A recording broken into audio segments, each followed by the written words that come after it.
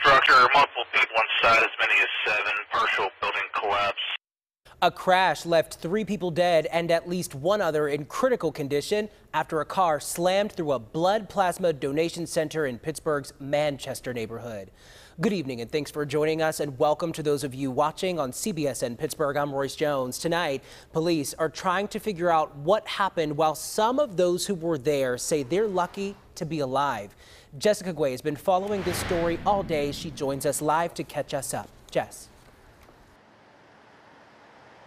Royce, this was such a scary incident. People were kindly donating plasma here when a car coming down Western Avenue plowed all the way into the building and a fire started. Three people were killed and one person is fighting for their life in the hospital. It was a tragic Saturday in Pittsburgh. A car barreled into Biomat USA Plasma Center in the city's Manchester neighborhood. About 10 employees and five donors were inside. The car's about, I would say, 200 feet within the building. It was an intense scene just after 11:30 a.m. First responders rushed to put out a fire and search for victims. We have multiple casualties, and uh, firefighters and EMS are currently inside right now, still looking for uh, more victims. Three people are dead. One of them was in the car. One person is critically injured, and another has minor injuries. Many others were evaluated on scene. A paramedic and two firefighters were treated for smoke inhalation.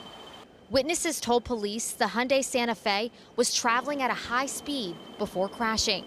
Car had to be doing over 100. The whole building started rumbling. The damage to the building is substantial. There was concern of a structural collapse. I don't believe it'd be a total collapse. Uh, there's a lot of suspended ceiling that has dropped down. Uh, obviously, there's a lot of water inside. Biomat USA released a statement saying, in part, they're saddened by the incident and grateful for the first responders and employees who acted quickly. The charred vehicle was removed and the gaping hole in the building was patched up. You wake up every morning and you don't know what's going to happen to you. And, you know, whether it's walking down the street or giving blood, it, you know, it's a tragedy. Like I say, the first responders did everything they could to save, save uh, those individuals that were in the building.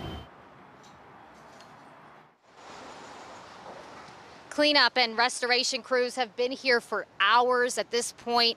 We don't know what caused the crash. Pittsburgh police are investigating. Live in Manchester, Jessica Guay, KDKA News.